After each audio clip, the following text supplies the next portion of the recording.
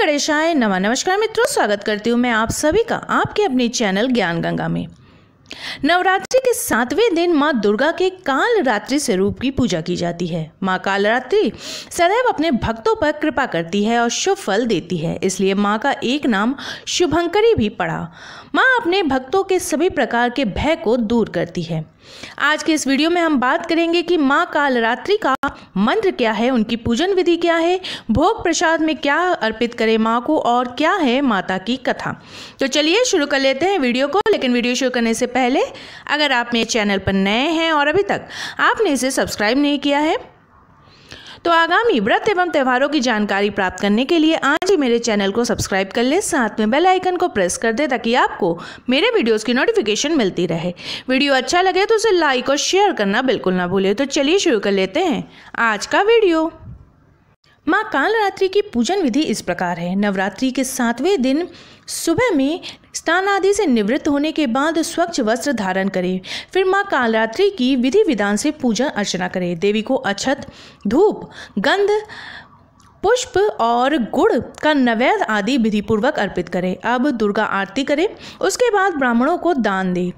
इससे आकस्मिक संकटों से आपकी रक्षा होगी। माँ कालरात्रि की आरती और पूजा के समय अपने सिर को खुला न रखें। पूजा के समय सिर पर कपड़ा या रुमाल आदि रख ले। उसके अलावा सप्तमी के दिन रात में विशेष विधान के साथ देवी की पूजा की जाती है। ये है माँ कालरात्रि का बीज मंत्र। माँ कालरात्रि की पूजा में गुड़ का भोग लगाया जाता है। आप देवी को गुड़ के लड्डू का प्रसाद भी अर्पित कर सकते हैं। इसे खुद भी खाएँ और ब्राह्मणों को भी दान दें। ऐसा करने से माता की असीम कृपा प्राप्त होगी। माँ कालरात्रि की कथा के अनुसार एक बार तीनों लोकों में शुंभ, निशुंभ और रक्त बीज तीनों राक्षसों ने आतंक मचा रखा था। इससे परेशान होकर सभी देवता भगवान शिव के पास इस समस्या का समाधान के लिए पहुँचे। तब भगवान शिव ने माँ आदिशक्ति से उन तीनों का संहार करके अपने भक्तों की रक्षा के लिए कहा। उसके बाद माता पार्वती ने उन दुष्टों के संहार के लिए माँ दुर्गा का रूप धारण कर लिया। माँ ने शुंभ और निशुंभ से युद्ध करके उनका अंत कर दिया। लेकिन जैसे ही माँ ने रक्त बीज पर प्रहार किया, उसके रक्त से अनेकों रक्त बीज उत्पन्न हो गए।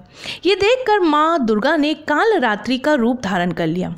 उसके बाद माँ कालरात्रि ने रक्त बीज पर प्रहार करना शुरू कर दिया और उसके रक्त को अपने मुँह में भर लिया और रक्त बीज का गला काट दिया। माँ का शरीर रात से भी ज़्यादा काला है। देवी कालरात्रि के बाल बिखरे हुए हैं और माँ के गले में नरमुंडों की माला विराजित है।